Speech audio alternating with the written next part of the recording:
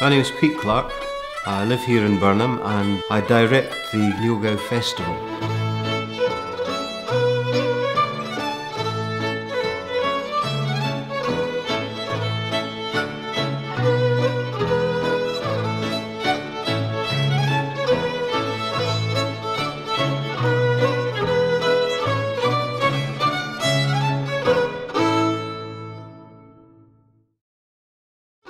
Niel Gow is a fiddle player, or was a fiddle player.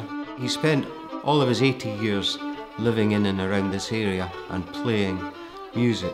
While he was in his teens, he uh, performed for no less than uh, Bonnie Prince Charlie and the Jacobites and uh, just became a celeb of his day. One of his fans was Robert Burns, so if you've got Burns as one of your fans, you must be a musician of note. We decided to um, start a Niel Gow festival 15 years ago because there wasn't really any significant memorial in or around the village which said Niel Niel Gow was here and who he was.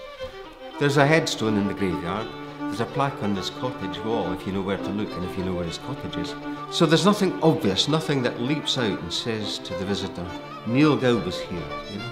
And I, th I thought it would be nice for, um, for the village and for visitors to the village to learn something of, of Niel Gow and to go away maybe a few bars of tunes in their head and a, a, a knowledge of this man who's been overlooked, largely overlooked in Scottish history. So with that in mind we thought, well, we'll start a festival, A, because it's a living memorial to the man and his music, and also, um, ultimately, it could lead to the, uh, the raising of sufficient funds to put up a, a, a memorial of sorts in the village. Possibly a sculpture, that's what we've got in mind now.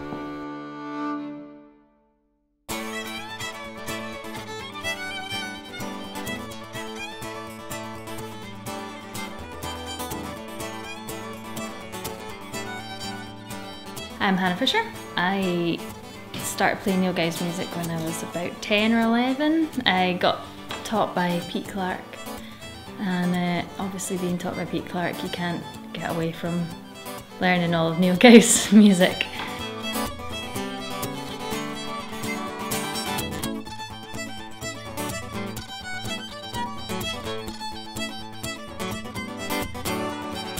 It's a great festival because there's not just um, concerts, there's workshops where you can come and try out an instrument. Um, there's a meet the maker of the fiddle player um, and fiddle maker Josephine Ross, who I am very lucky to own one of his fiddles. There's auctions for paintings, obviously Pete paints, um, so there's a, painting of Niel Niel Gow's cottage, and it's usually the start of spring yeah, it's it's a good time to come and see Dunkeld in the springtime.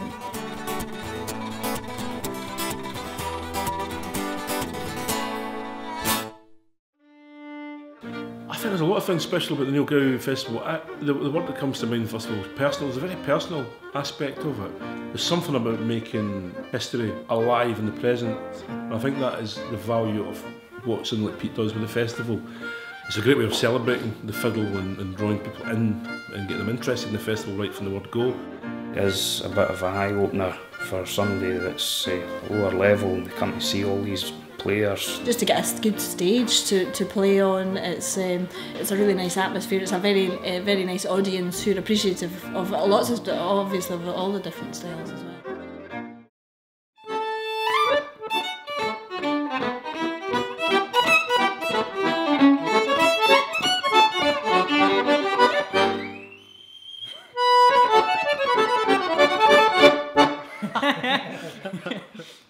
So I'm Rue Geddes. I'm studying classical violin. I'm my first year at the RCS in Glasgow. And I am Neil Sutcliffe. I'm also my first year of a classical degree in accordion at the RCS in Glasgow. So yesterday I played in the solo fiddle concert, um, which was great. It was terrifying, but it was great. Um, it's rare that you get an audience of about 100 fiddle players.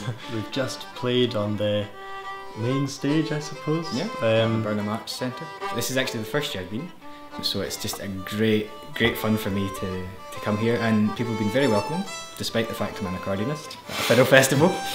So anyone that's not been to the festival before, I strongly encourage them to come. I think it's a fantastic uh, weekend, and it's just there's so much on, so much great music, and loads of great people as well. As part of the programme, there are a couple of guided walks, one of which I call the Niel Gow Walk, and I lead that on a Sunday. And what we do is we walk from Birnam uh, along the banks of the Tay and then follow the Braan upstream and into the village of Inver, which is where Niel Gow's cottage, uh, well, was and is.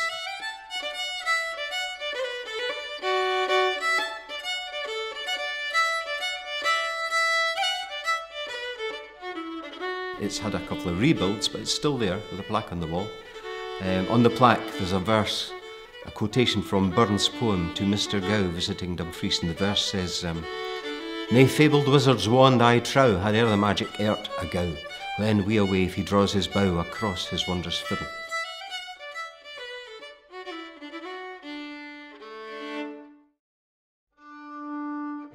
Ten years ago, I got, I got a call from a, a gentleman in the Borders who informed me that he had in his possession a fiddle which used to be Niel Gow's. Niel Gow actually said that it was his favourite fiddle. And the fiddle passed through several hands between now and then. Of the fiddles I've played that belonged to him, that, that to me has the sweetest tone. It just, uh, it just speaks volumes if you just touch the string. This year I got a chance to play Niel Gow's fiddle, which was very exciting for me. I played Niel Gow's Lament for the Death of his brother. I wonder how many times that tune's been played on the fiddle. You're holding that piece of wood and making it vibrate the same frequency that Niel Gow did 250 or more years ago. It's quite amazing to think that that fiddle has, has been playing those tunes for so many years. You wonder if it remembers. It's quite a feeling, it's quite a remarkable feeling.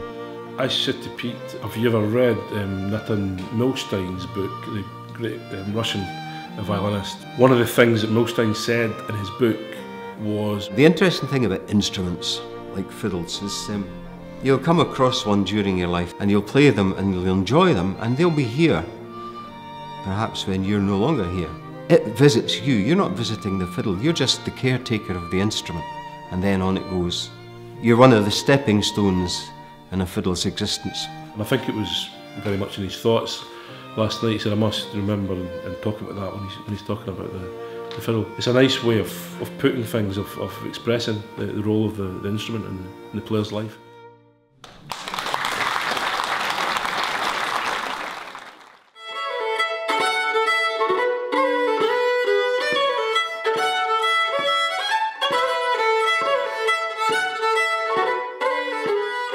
These kind of festivals are probably essential, uh, an integral part of Scottish music and Scottish culture. Especially um, focusing in on, on fiddle music in particular. I think focus festivals can be really important Yeah.